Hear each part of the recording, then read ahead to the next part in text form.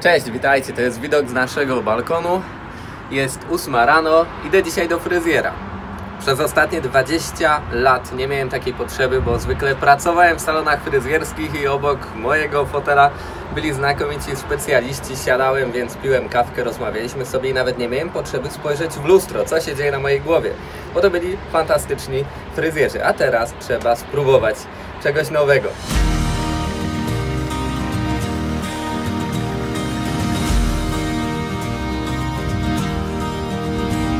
Was a morning in June when I heard that tune falling up to the beat of your heart.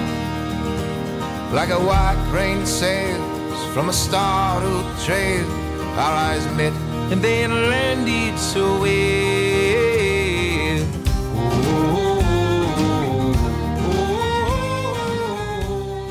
Okazuje się, że nasz fryzjer, z którym próbujemy się jakoś dogadać, też pracuje od 20 lat, ale e, przede wszystkim zajmuje się mężczyznami. W Turcji jest tak, że albo masz męski salon, albo damski. Rzadko kiedy jest coś łączonego, no chyba, że w tych najnowocześniejszych dzielnicach, gdzie też jest e, społeczeństwo przygotowane na taką zmianę kulturową.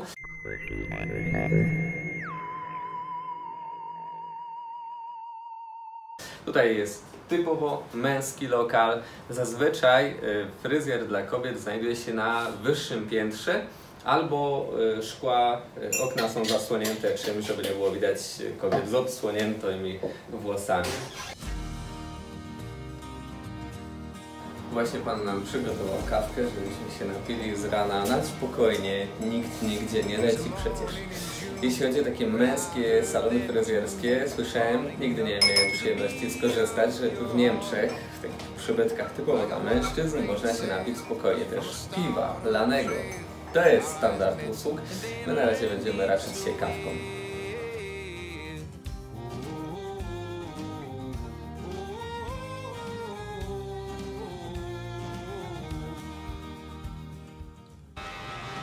Temacie męskich salonów fryzjerskich w Polsce moda się zmienia na przestrzeni ostatnich kilkudziesięciu lat. Bo dawno, dawno temu też było to naturalne, że mieliśmy salony dla mężczyzn i dla kobiet. Później pojawiły się te mieszane, ewentualnie z jakąś oddzieloną częścią.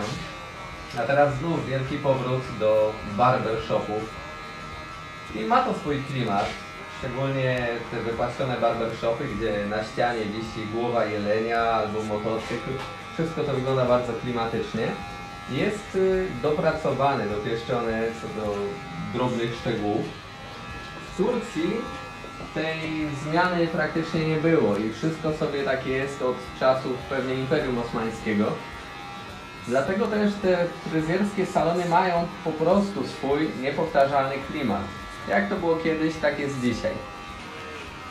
Ostatnie cięcie na mojej głowie wykonała moja małżonka, drodzy Państwo.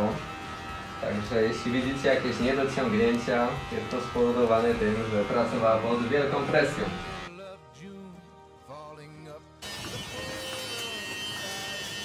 Tak się zbierałem, żeby pójść do fryzjera, ale strach było trochę.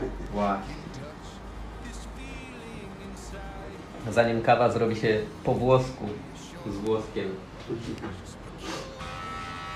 Widać jak facetowi ręce pracują, że te 20 lat właśnie tym się zajmuje. Chyba też mogę sobie już dać na luz i cieszyć się chwilą.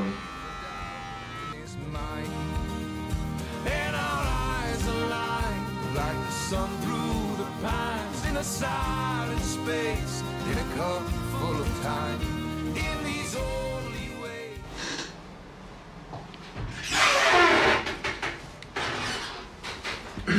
Przystępujemy do golenia.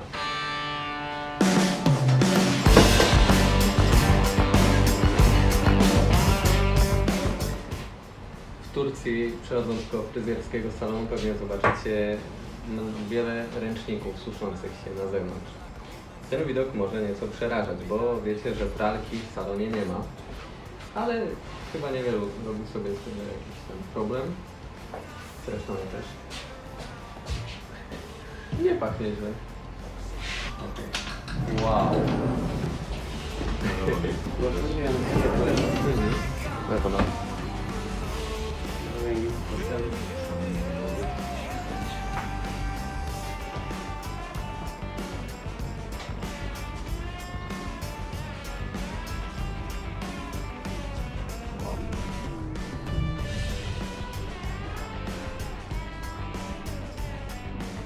To było świetne. Zaleciało przypalanym kurczakiem.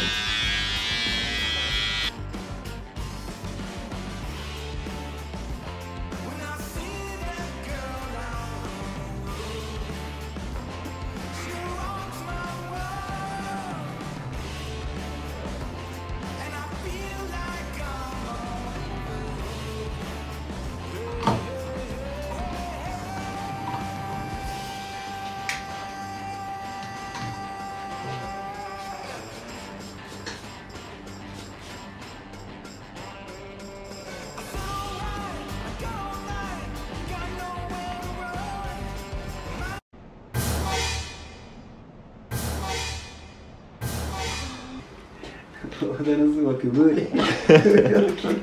ne oluyor diyor.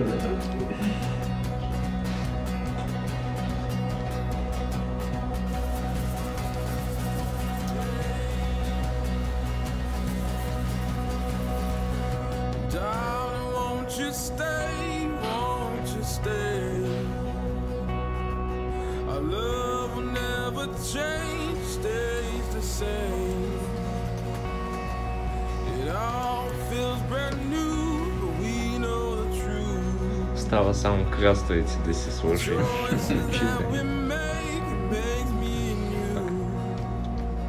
Here we go again. Jedyne co mnie przeraża w tego typu salonach, że głowę myje się dając ją do przodu.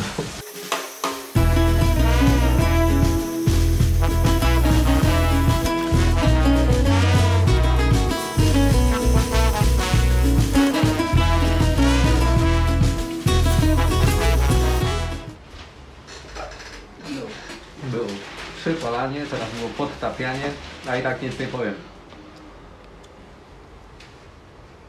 Myślałem, że ta praktyka jest zakazana.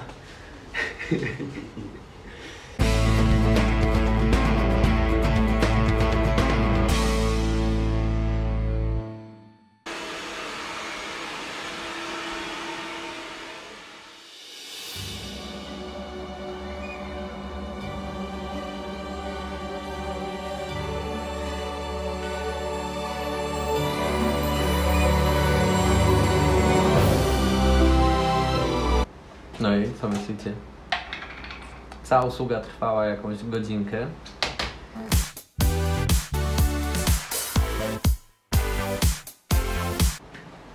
No, no chuj zgleże. Mhm.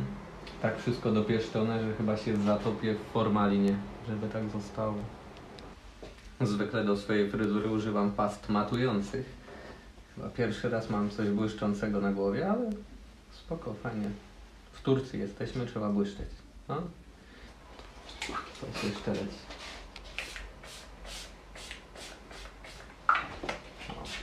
Beton.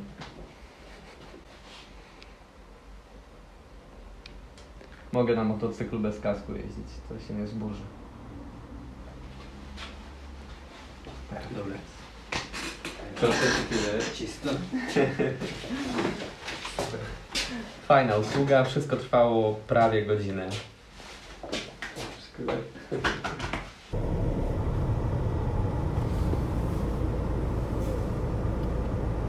Mamy jakąś przeszkodę na drodze. Oj, oj.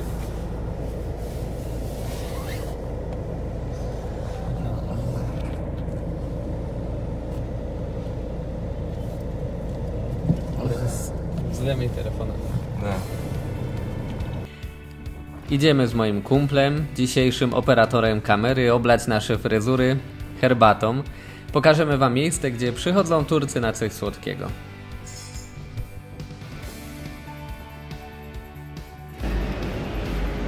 Yeah.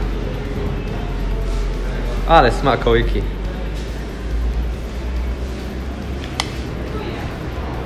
Turcja to straszny kraj dla ludzi, którzy są na diecie. Pokusy są wszędzie.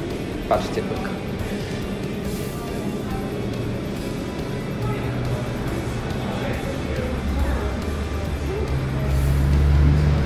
Oj, by zeżar taką biedronkę. No. Wow. Najgorsze w tym, że wszystko tutaj jest naprawdę dobre. Albo ta zabójcza bakława, spójrzcie tylko. A, dobre.